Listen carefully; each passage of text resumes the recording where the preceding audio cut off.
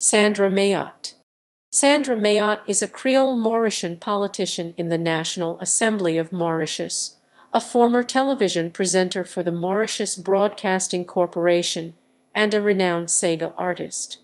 Biography Sandra Mayotte lives in Quatre-Bornes. In the early 2000s, she became a presenter for the Mauritius Broadcasting Corporation.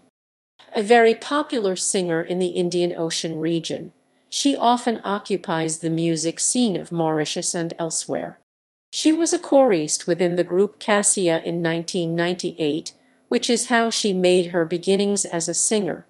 Winner of the Kora Award in 2001 as Best Artist of East Africa, she has been pursuing her career for 20 years now. In January 2018 she was chosen to present the Mauritian version of the show Who Wants to be a Millionaire? Song charts. Kayambo, Makalapo, Mo Contentois, Kotlai Fin Ale, La Lumiere Dan Lacaz, Vindance Armois Daumenawi. Awards and recognition. Kora Awards, category Meilleur Artiste Féminin d'Afrique de l'Est in 2001. Disque de l'année pour Quat Sa Fine Ale in 2008.